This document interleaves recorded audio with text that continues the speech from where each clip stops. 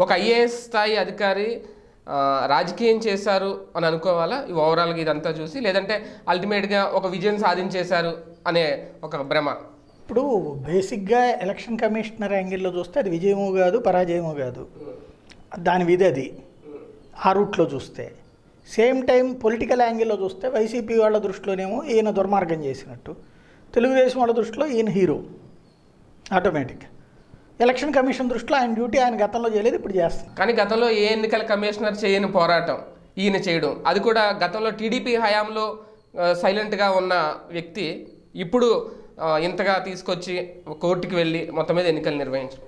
అదే అనేది పోరాటం అనే పాయింట్ పోరాటం అనేది ఎప్పుడు వస్తుంది అప్పుడు చేసి అప్పటి నుంచి గట్టిగా చొక్కా పట్టుకుని అన్ని గవర్నమెంట్లని నిలదీసి చేస్తే అది పోరాటం అంటారు. అప్పుడే డ్యూటీ గనక చేసి ఉంటే ఆ రోజున పోని పంచాయతీ ఎన్నికలు లేకపోతే మున్సిపల్ ఎన్నికలు ఏదో పెట్టి మిగతాది టైం చాలలేదులేని ఆపి ఆ తర్వాత రెండు వేల పంతొమ్మిదిలో వీళ్ళు పవర్లోకి రాగానే ఈ ఎన్నికలకు వెళ్ళి చేసుంటే అప్పుడు పోరాటాలు వచ్చాయి. ఇప్పుడు ఇందులో ఆరాటం తప్పించి పోరాటం ఏముంది? అంటే ఇప్పుడు పెట్టాలన్న ఆరాటం తప్పించి తన హయాంలో పెట్టాలన్న ఆరాటం తప్పించి పోరాటం ఏముంది? ఏంటి పోరాటం అంటే ప్రభుత్వం ఇక్కడ అడ్డుపడుతున్నా సరే. అడ్డుపడుతోంది ఎందుకు? ఇంటెన్షన్. ఇప్పుడు తన దాంట్లోనే తనదొక కాంట్రడిక్షన్ ఏంటంటే కరోనా కారణంగా ఎన్నికలు ఆపమన్నాం అప్పటికి ఒక కేసు ఉంది ఒక కేసు ఉన్నటువంటి సందర్భంలో కరోనా రాబోతుంది ప్రమాదకరమని ఆపావు కరోనాకి ఇప్పుడు వ్యాక్సినేషన్ వచ్చింది. దేశమంతా వ్యాక్సిన్ చేస్తున్నారు. ఆ రోజున ఓట్లు ముఖ్యమా కరోనా ముఖ్యమా ప్రాణాలు ముఖ్యమా అంటే ప్రాణాలు ముఖ్యం మాకు కరోనా ముఖ్యం ఇదే ఓట్లు కాదు అని చెప్పావు ఇప్పుడు అదే ప్రాణాలు కాపాడే మందు వచ్చినప్పుడు ప్రాణాలు కాపాడుకునే మందు కంటే కూడా ఓట్లు ముఖ్యమంటున్నాం. ఇది రాజ్యాంగబద్ధం అది రాజ్యాంగబద్ధం. ఎందుకంటే ఆ పదవిలో ఉన్నాం కాబట్టి. అప్పుడు పవర్లోనే ఉన్నాం ఇప్పుడు పవర్లోనే ఉన్నాం. పవర్లో ఉన్నంతసేపు పవర్ ఉంటుంది. ఆ పవర్ బేసిస్ మీద ఏమైనా చెప్పచ్చు. దానికి మనం అంగీకరించాలి. బట్ పబ్లిక్ వచ్చేటప్పటికి ఈ క్వశ్చన్ వస్తుంది. రెండో పాయింట్. మొన్న ఆయనే ఓ లెటర్ రాశారు చీఫ్ సెక్రటరీకి. ఏది ఉద్యోగులందరూ కూడా మేము కరోనా గురించి భయపడుతున్నామంటే అబ్బాయి అట్లా భయపడక్కర్లేదు. మీ సేఫ్ సేఫ్టీ అది నేను చూసుకుంటాను. పీపీఈ కిట్లు ఇవ్వమంటున్నాను శానిటైజేషన్ చేయమంటున్నాను. ఇవన్నీ చేయడంతో పాటుగా మీరందరూ కూడా వ్యాక్సిన్ వేయించుకుని వద్దురు కానీ అన్నారు. వ్యాక్సిన్ వేయించుకుని వచ్చేయమనేటప్పుడు కేంద్రంతో మాట్లాడి ఇప్పించాలి కదా వ్యాక్సిన్ వాళ్ళకి. నెంబర్ వన్ రెండోది ఒక వ్యాక్సినా? రెండు వ్యాక్సిన్లు. ఒక వ్యాక్సిన్ తర్వాత ఇంకొక వ్యాక్సిన్ వేయాలి దాంట్లో సైడ్ ఎఫెక్ట్స్ అబ్జర్వేషన్ ఇవన్నీ కూడా ఒక ప్రోటోకాల్ ఇచ్చింది సెంట్రల్ గవర్నమెంట్. అట్లాగా ఆపిన ఇరవై ఎనిమిది రోజుల నుంచి నలభై రోజులు పడుతుంది. అంతే కదా ఇప్పుడు వ్యాక్సిన్ వేసుకుని వెళ్ళిపోయి కూర్చుందాం అంటే కుదరదు కదా. కుదరదు కదా. ఉమ్.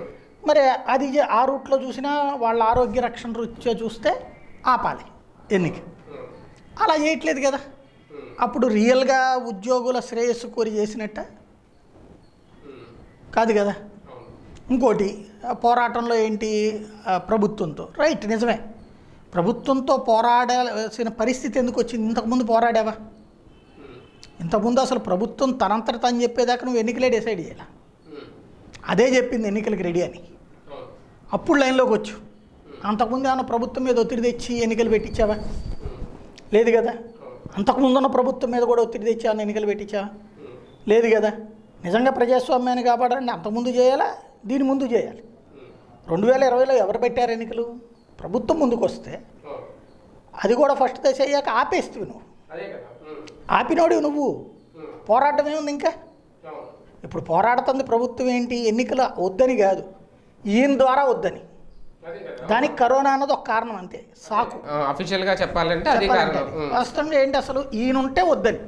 ఎందుకు వద్దు అంటున్నారు అంటే రీజన్ అది. గతంలో ఈయన చేయలా? చేయాల్సిన టైంలో చేయలా? చేద్దామన్నప్పుడు ఆపారు. అంతా అయిపోయిందన్న తర్వాత ఇప్పుడు చేద్దామంటున్నారు సాధారణంగా ఒక నోటీస్ పీరియడ్లు అంటాం. నోటీస్ పీరియడ్లో సీరియస్ డెసిషన్స్ తీసుకోం. ఈవెన్ జడ్జిలు కానీ అంటే ఎథికల్ ప్రాక్టీసెస్ అంటారు.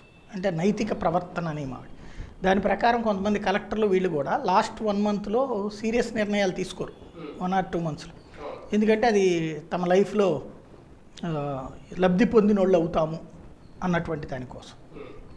ఆ రూట్లో చూస్తే ఎన్నికలు నిర్వహించడం ఇప్పుడు పూర్తవుతాయి.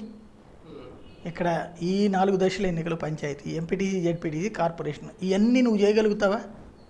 లేదు కదా నీ హయాంలో? అప్పుడు ప్రారంభించేయడం ఎందుకు మరి? మొత్తం ప్రాసెస్ నీ చేతిలో లేదు. ఒక ప్రాసెస్సే ఉంది నువ్వు ఇప్పుడు చేద్దాం అనుకుంటుంది. ఇవన్నీ కౌంటింగ్ ఇవన్నీ అయ్యేటప్పుడు ఫిబ్రవరి ఎండింగ్ అవుతుంది. మార్చికి మళ్ళీ నీది. అంటే మళ్ళీ ఇంకొకరు ఎన్నికలు ఏమైనా చేస్తే చేయాలి.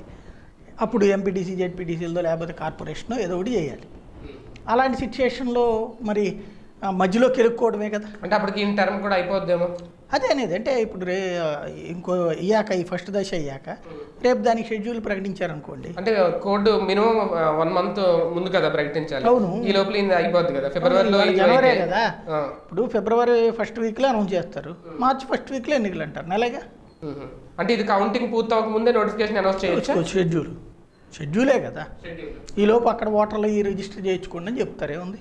షెడ్యూల్ ఇచ్చాక ఓటర్ రిజిస్టర్ చేయించుకోవచ్చు ఎండింగ్లో అవి చేసుకోండి అని చెప్తారు.